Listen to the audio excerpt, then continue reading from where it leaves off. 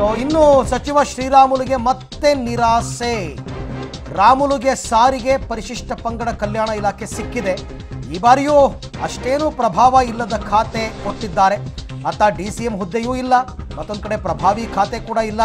ಹೀಗಾಗಿ ಸಚಿವ ಶ್ರೀರಾಮುಲುಗೆ ಮತ್ತೆ ನಿರಾಸೆಯಾಗಿದೆ ಅಂತಕ್ಕಂಥದ್ದು ಗೊತ್ತಾಗ್ತಾ ಇದೆ. ಸಾರಿಗೆ ಇಲಾಖೆ ಮತ್ತು ಪರಿಶಿಷ್ಟ ಪಂಗಡಗಳ ಕಲ್ಯಾಣ ಇಲಾಖೆಯನ್ನು ಕೊಟ್ಟಿದ್ದಾರೆ. ಸೊ ನೋಡೋಣ, ಸಾರಿಗೆ ಮಂತ್ರಿಯಾಗೂ ಕೂಡ ಒಳ್ಳೆ ಕೆಲಸವನ್ನು ಮಾಡಬಹುದು. ಅದನ್ನು ಅವ್ರು ಇಷ್ಟಪಟ್ಟಿದ್ರೋ ಇಲ್ವೋ ಗೊತ್ತಿಲ್ಲ. ಶ್ರೀರಾಮುಲು ಅವರು ಆ ಥರ ಏನು ಹೇಳ್ಕೊಂಡವರಲ್ಲ, ನನಗೆ ಇಂಥದ್ದೇ ಖಾತೆ ಬೇಕು ಅಂತ. ಆದರೆ ಡಿ ಸಿ ಎಂ ಆಗಬೇಕು ಅನ್ನೋ ಆಸೆಯನ್ನು ಮಾತ್ರ ತುಂಬ ಸರ್ತಿ ಹೇಳ್ಕೊಂಡಿದ್ರು. ಡಿ ಸಿ ಎಂ ಆಗಲಿಲ್ಲ, ಈ ಸರ್ತಿ ಯಾರನ್ನೂ ಡಿ ಸಿ ಎಂ ಮಾಡಲಿಲ್ಲ. ಅಲ್ಲೇ ಮೊದಲ ನಿರಾಸೆ ಅವರಿಗೆ. ಅದಾದ ನಂತರ ಸಾರಿಗೆ ಇಲಾಖೆ ಅಂತಕ್ಕಂಥದ್ದು ಅಂತ ಏನು ದೊಡ್ಡ ಖಾತೆ ಅಲ್ಲ ಅಂತ ಏನಾದರೂ ಅಂದುಕೊಳ್ಳಬಹುದು. ಆದರೆ ಅವರದ್ದೇ ಸಮುದಾಯದ ಕಲ್ಯಾಣ ಇಲಾಖೆಯನ್ನು ಕೊಟ್ಟಿದ್ದಾರೆ, ಪರಿಶಿಷ್ಟ ಪಂಗಡಗಳ ಕಲ್ಯಾಣ ಇಲಾಖೆ.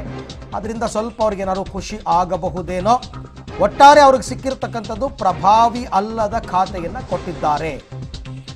ಈ ಬಗ್ಗೆ ಮತ್ತಷ್ಟು ಮಾಹಿತಿ ನನ್ನ ಕೊಲೀಗ್ ರವೀಶ್ ಅವರಿಂದ ಪಡ್ಕೊಂಡ ರವೀಶ್, ಏನಾದರೂ ಶ್ರೀರಾಮುಲು ಅವರು ಬಹಿರಂಗವಾಗಿ ಅಸಮಾಧಾನವನ್ನು ತೋರಿಸ್ಕೊಂಡಿದ್ದಾರಾ ಅಥವಾ ಸೈಲೆಂಟ್ ಆಗಿದ್ದಾರಾ? ಯಾಕೆ ಹೀಗಾಯಿತು ಅಂತ. ಅರವಿಂದ್ ಪ್ರಮುಖವಾಗಿರ್ತಕ್ಕಂಥದ್ದು ಎಲ್ಲೋ ಒಂದ್ ಕಡೆ ಶ್ರೀರಾಮುಲು ಅವರು ನಿನ್ನೆ ಮತ್ತೆ ಎರಡು ದಿನಗಳಿಂದ ದೆಹಲಿ ಪ್ರವಾಸವನ್ನು ಕೂಡ ಕೈಗೊಂಡಿದ್ರು. ಈ ಹಿನ್ನೆಲೆಯಲ್ಲಿ ಅವರಿಗೆ ದೊಡ್ಡ ಮಟ್ಟದ ಅಸಮಾಧಾನ ಆಗಿರಬಹುದು ಯಾಕೆಂದ್ರೆ ಯಡಿಯೂರಪ್ಪ ಅವರ ಸಂದರ್ಭದಲ್ಲೂ ಕೂಡ ಆರೋಗ್ಯ ಖಾತೆಯನ್ನ ಕಿತ್ತು ಅವರಿಗೆ ಸಮಾಜ ಕಲ್ಯಾಣ ಖಾತೆಯನ್ನ ಕೊಟ್ಟಿದ್ರು. ಆದ್ರೆ ಹಿಂದುಳಿದ ವರ್ಗ ಖಾತೆಯನ್ನು ಕೂಡ ಆ ಸಂದರ್ಭದಲ್ಲಿ ಶ್ರೀರಾಮುಲು ಕೇಳಿದ್ರು ಕೂಡ ಕೊಟ್ಟಿರ್ಲಿಲ್ಲ. ಈಗ ಅವ್ರನ್ನ ಒಂದು ಸಮಾಜ ಕಲ್ಯಾಣ ಖಾತೆಯಿಂದ ತೆಗೆದಿರೋದ್ರಿಂದ ದೊಡ್ಡ ಮಟ್ಟದಲ್ಲಿ ಅಸಮಾಧಾನ ಆಗಿರ್ಬೋದು, ಅದನ್ನ ಬಹಿರಂಗ ಪಡಿಸ್ಕೊಳ್ತಾ ಇಲ್ಲ. ಹಾಗಾಗಿ ಅದನ್ನ ಯಾವ ರೀತಿ ಮ್ಯಾನೇಜ್ ಮಾಡ್ತಾರೆ ಅನ್ನೋದು ಕೂಡ ಸಾಥ್ ನೋಡ್ಬೇಕಾಗಿದೆ. ಒಟ್ಟಾರೆಯಾಗಿ ಎಲ್ಲೋ ಒಂದ್ ಕಡೆ ಆ ಒಂದು ಸಾರಿಗೆ ಖಾತೆಯನ್ನ ಕೊಟ್ಟಿರೋದ್ರ ಬಗ್ಗೆ ಬೇರೆ ಬೇರೆ ರೀತಿಗಳು ಕೂಡ ಚರ್ಚೆ ಆಗ್ತಾ ಇದೆ. ಯಾವ ಕಾರಣಕ್ಕೋಸ್ಕರವಾಗಿ ವಹಿಸ್ಕೊಟ್ಟಿದ್ದಾರೆ, ಏನು ಅನ್ನೋದ್ರ ಬಗ್ಗೆ ಕೂಡ.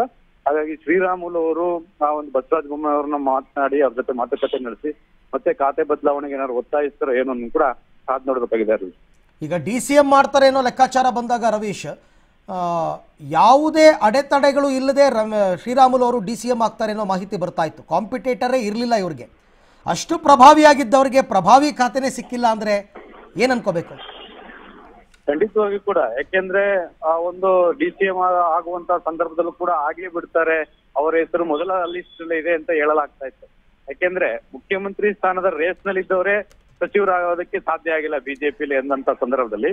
ಇದು ಕೂಡ ಅದೇ ರೀತಿ ಆಗಿರ್ಬೋದು. ಯಾಕೆಂದ್ರೆ ಅರವಿಂದ್ ಬೆಲ್ಲದವರು ಮುಖ್ಯಮಂತ್ರಿ ರೇಸ್ನಲ್ಲಿ ಇದ್ರು ಕಡೆಗೆ ಸಚಿವರು ಕೂಡ ಆಗ್ಲಿಲ್ಲ. ಹಾಗಾಗಿ ಡಿ ಸಿ ಎಂ ನ ಮೊದಲ ಸ್ಥಾನದಲ್ಲಿ ಇದ್ದಂತವ್ರು ಈಗ ಪ್ರಭಾವಿ ಖಾತೆಯನ್ನು ಕೂಡ ಪಡೆದೇ ಇರತಕ್ಕಂಥದ್ದು ಬೇರೆ ಬೇರೆ ರೀತಿಯ ಚರ್ಚೆಗೆ ಗ್ರಾಸವಾಗಿದೆ ಅಂತಾನೆ ಹೇಳ್ಬೋದು. ಮುಖ್ಯಮಂತ್ರಿಗಳು ಯಾವ ದೃಷ್ಟಿಯಿಂದ ಈ ಒಂದು ಶ್ರೀರಾಮುಲು ಅವರಿಗೆ ಖಾತೆಯನ್ನು ಹಂಚಿಕೆ ಮಾಡಿದ್ದಾರೆ ಅನ್ನೋದ್ರ ಕೂಡ ಸ್ಪಷ್ಟತೆ ಇಲ್ಲ.